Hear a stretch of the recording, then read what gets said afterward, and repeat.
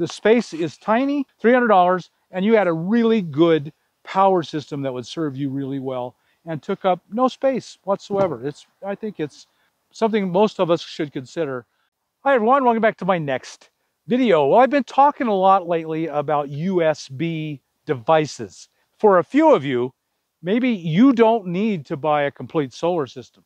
You can uh, just get by with USB devices.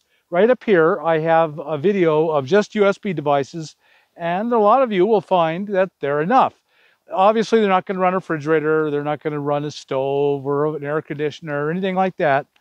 But just for your household things you use on a daily basis, I think you might find they're all you need. So I did all the videos on devices, but how are you going to charge those devices? You got to have batteries, and I showed you the batteries. But you've also got to have solar or something to charge the devices. You can just plug them into your cigarette lighter plug while you drive. That will be nowhere near enough.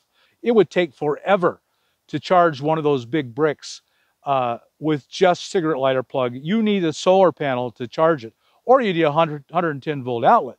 So today we're just looking at solar panels for USB devices. So the way I would do it, if I were going to be on a, um, a, a uh, USB diet, and that's going to be my solar system, is I'd get two of these batteries. These are each 28,000 milliamp hour and they're both reasonably fast charging and output charging. Those are the two things you want the most. PD is power delivery, and that's really important because you can get really, really fast charging out of power delivery, and that makes a big difference. So uh, they started coming out with more and more uh, devices that would take 25 watts of power delivery, 45 watts of power delivery, and then they came out with 60 watts. A lot of laptops charge at 60 watts. So you could just take a USB-C cord with one on each end, plug it into one and plug it into the other, and you're charging at 60 watts. That's fantastic.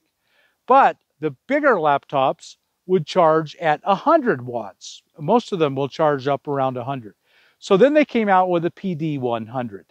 And that's, uh, I think right now that's the fastest. I'm not 100% sure of that. So what you want in a brick is fast charging. Don't buy it if it's not, because it'll take forever to charge, and that's no good.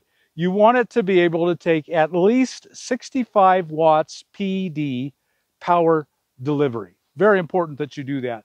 Then you can charge an item in hours that would take you days at USB A1. Uh, literally, and I, I'm not exaggerating.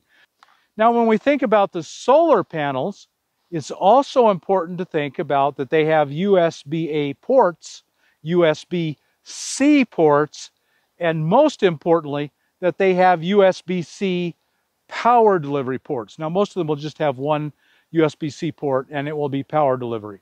So we're going to look at all of these panels I have here. Some I have one that's 25 watts, 45 watts, and the full 60 watts. So this is a 25,000 milliamp hour battery, which is good really good. And it has a fold out panel. The panels are only six watts. It would take very, it would take all day, multiple days to get this charged, but it's something. It's certainly better than nothing. It can be charged itself and charge out uh, with a USB-C, and it has two USB-A ports. Now, it will only do 15 watts, 5 volt at uh, 3 amps. So it's only doing 15 watts. But 15 watts is a whole lot better than nothing it's a whole lot better than the old USB original ones. The, the brand name on this is AddTop, A-D-D-T-O-P, and this was $38, and it had a 40% off coupon. Does right now, I just checked. So that'd be $16 off. This thing is dirt, dirt cheap. If you just buy it for the battery, then it's worth it. It's more than worth it. And the solar panels, they're just throwing them in as a, as a bonus. So this AddTop is something I would think about buying because the price is so good and it's really convenient. So here's three, 28, 800 and 25,000. So this is cheaper than either of these and comes with a solar panel. So this is something I'd give serious to, thought to. This does not have power delivery or accept or give out power delivery. But it's that tiny a solar panel, you just, that's what you got to do. Okay, so this is how you're going to do them. And I do like having two of them. One of them you hook up to your solar panel all day. It's charged by the end of the day completely. And the other one you use that day, the next day you swap them. And you're charging the dead one, you're using the live one. And that should work for you really well for a long time. So here, this is a device, a solar panel I've had a long time. It's got a pretty, pretty durable. So there's a 21 watt solar panel. Now this one, and it's made by Nekteck, and Nekteck no longer makes this 21 watt. They now make a 28, and it's it's actually the same price. So you would want to buy the, the this currently is a 28 watt. You can see it has uh, good grommets. This only has USB-A ports. Now this next panel is the first serious panel. It's a 40 watt uh, fold out. It's pretty small. You can see this is a very small box. It's fairly light. You're going to fit this in your car without a problem, and it's 40 watts. You're starting to get into some seriously useful wattage. Now remember, no solar panel ever, almost ever, puts out its full wattage. So polar uh, solar panel says it puts out 100 watts. You would expect 80 watts at best. Uh, that's the nature of the solar panel industry. They test them under perfect conditions, and you are never going to use one of these things under perfect conditions. So you're never going to get that laboratory tested amount. So it just folds out. It's very high quality material. I think this is going to last a very, very long time. To get 40 watts out of these small panels, there's a lot of them. So USB quick charge QC3 output. That's what you want to look for is quick charge 3 output. Uh, it puts out 5 volt at 3 amps, 15, that's 15 watts. 9 volts at 2 amps, that's 18 watts. And 12 volt at 1.5 amps, so that would be 12, uh, 18. That's still only 18. The DC output uh, is 19 volts. It's got a little DC port uh, at 2.1 amps, so that's 40. That's your 45 watts. The USB-C PD power delivery 2 output is 40 watts. So it's that's why it's a 40 watt solar panel because it puts out 40 watts of power delivery. This also is IP67 rated. So that means it can take a lot of abuse. It can take a fair amount of water. Don't submerge it. I mean, that's just silly. Don't even think about that. But if this got left out in the rain, it probably wouldn't have any impact on it at all. And uh, it also is uh, protected against dust intrusion and water intrusion. That's what IP67 means. And so this is a very durable, rugged piece of equipment. I would expect it to last you for years and years. And it has a 12 volt outlet a USB quick charge A, USB A quick charge, and the USB-C 40 watt charge. Okay, so this is something to give serious thought to if you need tiny, tiny, tiny, tiny space. All right, the next one we're going to look at is this Blavor 60 watt panel. And this is a pretty big panel, but it's putting out 60 watts. And like most of these, this and this is good quality. I think the fabric and everything looks pretty good. Oh, one of the kind of unique things it has is an 8 millimeter, which an awful lot, an awful lot. This is the most common. Uh, power stations use 8 millimeters. So you could hook this 60 watt panel straight into your Jackery, for example.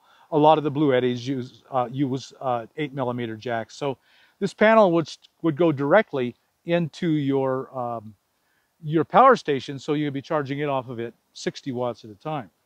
USB output, 5 volt, 3.4 amps. That means it's close to 20 amps. 12 volt, uh, quick charge 3, 24 watts. That's a pretty fast charge. The quick, that's the USB-A. And then the USB-C is 5 volt 3 amps, 9 volt 3 amps, 12 volt 3 amps, 15 volt 3 amps, and max PD is 45 watts. I've since then found the panel I think everyone should buy. It's a little more, it's 150 bucks, the panel I'm going to just show you right now. But 100 for a 60 watter, this is going to be uh, a much better deal. Let's talk about it. Okay, this is a uh, this is a Twelseavan, and it's a 120 watt panel, and it's pretty small. Let me directly compare it uh, to this 60 watt. Black.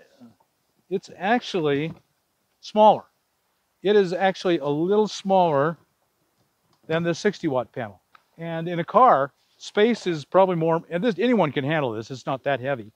Uh, but the quality on it seems real good. And the way they're getting it down so small is it's four, four panels. So this is a 120 watt panel, uh, which is, you know, most of you are going to want 100 or more. 120 is a good, decent amount to start with. Uh, if you're using just USB devices, this is more, this is all you would ever need. You can charge a couple USB devices at once because you have 120 watts. And it's putting out probably 80, 90, 100 watts. You can run the PD and something else at the same time. So you could be charging two bricks at the same time and charging them pretty fast. Because this has 60 watt power delivery, uh, and it's, you know, if there's sun, you're probably bringing in 80, 90, 100 watts because it's a 120 watt panel. You can pay, you can pay, do all of that power delivery, full charge. So uh, then you could plug something else into the Quick Charge 3 uh, USB-A outlet, and you're quick charging two different items. And so that's what counts, is that you could got a little bit of sun during the day, you're charging the maximum out and a 120 watt panel allows that. Plus, well, it does not have MC4s, it does have this multi-prong. And this is an Anderson, an XT60, a, I believe that's a 2.5, and I believe that's a 5.5. So I tested it by charging this brick off of this, and it charged at PD60, which means this got done in three, four hours. On a good Sunday, this got done in three or four hours again, if you do the two of these at once, one day you have this thing completely charged, your other ones didn't completely charge, you swap them, you can just go on swapping them back and forth. You'd have almost unlimited USB solar power. The fact that it has a USB-C with a 60 power delivery makes it a game changer if you're depending on USB devices. So I think this is the king. Uh, it's 150 bucks and you're going to have to spend between 50 and $80 per brick. Those are the things you're looking for. The biggest milliamp hour number you can get, the most, uh, the biggest PD, which is probably 60. I don't think you'll find any that'll take 100. And so if you get those two things on a brick, you're doing really good.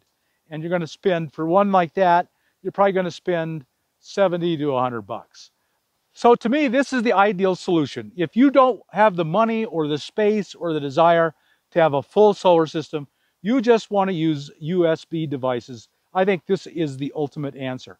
You can have 120 watt solar panel, 17 pounds, very small, a couple of bricks. You're always charging one and then the other one's full and you're swapping back and forth.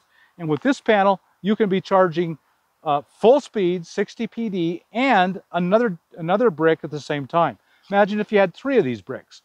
The space is tiny, uh, I think the one of these was $40. So you get three of these, it'd be $140, $150 for this, $300, and you had a really good power system that would serve you really well and took up no space whatsoever. It's, I think it's something most of us should consider unless you just need and want all the other devices that a power solar power system can give you. Okay, I hope this helped you, that this gave you some ideas of what you could do with uh, for power. Uh, if it did, I hope you'll like us on YouTube, subscribe to the channel, hit that thumbs up button, and we'll talk to you later. And remember, die with many amazing memories and not with unfulfilled dreams. I wish I would have, I could have, I should have. Live your best quality life today. We'll talk to you later.